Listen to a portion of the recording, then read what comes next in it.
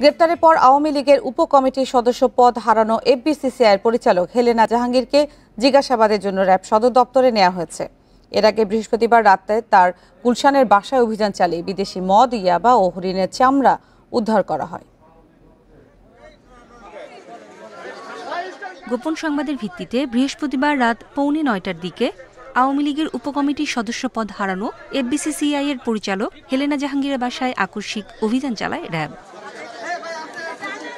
তিন ঘণ্টার এই অভিযানে তার বাসা থেকে উদ্ধার করা হয় বিপুল অবৈধ মাদক, হরিণের চামড়া ও ওয়াকিটকি। অভিযানে দুটি আগ্নেয়াস্ত্র পাওয়া গেছে, তবে সেগুলোর বৈধ কাগজ রয়েছে বলে র্যাবের কাছে দাবি করেছেন হেলেনা জাহাঙ্গীর। বিদেশি মদ walkie talkie set, foreign currency, casino খেলার সরঞ্জাম, হরিণের চামড়া। প্রভৃতি আমরা উদ্ধারপূর্বক এখানে জব্দ করেছি। সো এই যে জব্দকৃত আলামত এবং এই সুনির্দিষ্ট অভিযোগের বিষয়ে আরও বিস্তারিত জিজ্ঞাসাবাদের জন্যে হেলেনা আক্তারকে আমরা গ্রেপ্তার করেছি। মিরপুরে হেলেনা জাহাঙ্গীরের জয়যাত্রা টেলিভিশনেও অভিযান চালায় র্যাব। সেখান থেকেও বেশ কিছু অবৈধ সরঞ্জাম উদ্ধার করে তারা। ঠিকানা তিনি দেওয়ার পর আমরা এখানে এসে দেখতে পাই যে এই অফিসটি এখানে অবস্থিত কিন্তু এই টেলিভিশন চ্যানেলটির কোনো বৈধ কাগজপত্র নেই।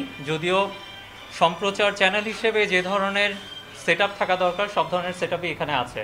এবং চ্যানেল হিসেবে তিনি কর্মী নিয়োগ করার জন্য সারা দেশে এবং বাংলাদেশে, বাংলাদেশের বাইরে বিভিন্ন দেশে কর্মী নিয়োগ করেছেন যে সেই জন্য তিনি তাদের কাছ থেকে অর্থ আদায় করেছেন।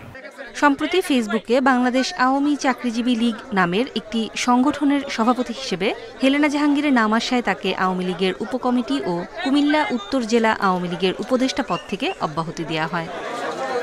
নুরে জান্নাত ইন্ডিপেন্ডেন্ট নিউজ